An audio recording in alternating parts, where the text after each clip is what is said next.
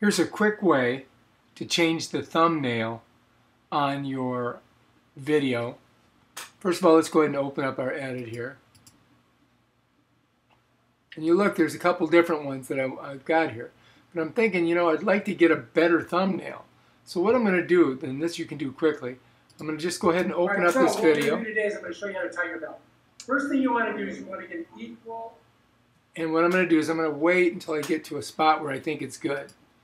And I think it's going to be better right here. And what I'm going to do is I'm not going to take the whole shot. I'm going to go onto my keyboard. I'm going to hit Shift, Command, 4.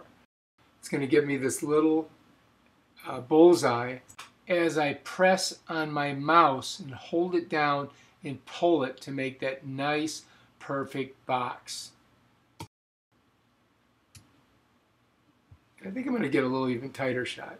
So I'm going to go Command, Shift, 4.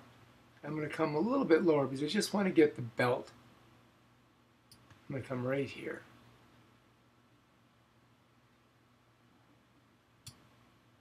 Okay, let's close that out. Now I'm going to come over here. I'm going to do custom thumbnail. I'm going to click on it.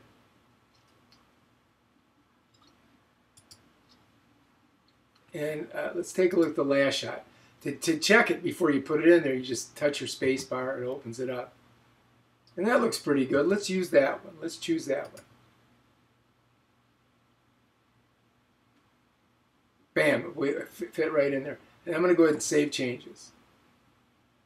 And it should be in there now. So if I go over to Video Manager, I'm just going to click on it.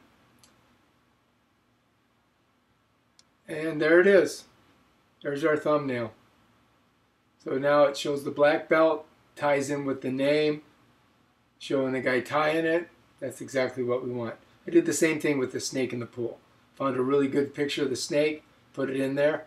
And when you do that with a screenshot, you're compressing uh, the, the, the actual picture so that it'll fit in there because you can't have anything over two megabytes.